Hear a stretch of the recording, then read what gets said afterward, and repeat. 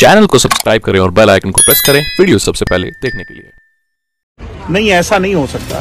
चौधरी ओम प्रकाश चौटाला तो किसी को किसी के सामाजिक फ़ंक्शन में जाने के लिए कभी मना नहीं करते थे। बल्कि वो तो अपने एमएलए को, अपने नेताओं को एंडोर्स किया करते। वो तो स्वयं सामाजिक व्यक्ति रहे सार्वजनिक जीवन में, आज भी हैं। मैं ये मानता हूँ, बड़ा दुर्भाग्यपूर्ण है कि ऐसे मंच पर जब वो अपना जन्मदिवस मना रहे हों लोगों को बुला रहे हों, वहाँ पर स्वयं चौधरी ओम प्रकाश चौटाला जी के, हमारे परिवार के लोग बैठे हों, उनके सामने, उनके बारे में इतनी बदनीयती से बोलना और इतना नीचे शब्दों का उपयोग करना, ये कह देना कि ऐसे लोगों की राजनीति में कोई जगह नहीं है, इससे शर्मिंदगी भरी बात नहीं हो सकती और वो लोग बैठ कर के पीछे तमाशा देखें, इससे भी शर्मिंदगी की बात नहीं हो सकती। मैं मानता हूँ कि ढूमर कहा साहब को, चौधरी वीरेंद्र सिंह जी को इसके लिए माफ़ी मांगनी चाहिए। चौधरी ओम प्रकाश चौटाला सर्वमान्य नेता हैं राजनीतिक तौर पर पार्टी उनकी कोई भी हो, मगर वो हमारे आदरणीय हैं और वो कभी किसी को जाने से, कभी किसी को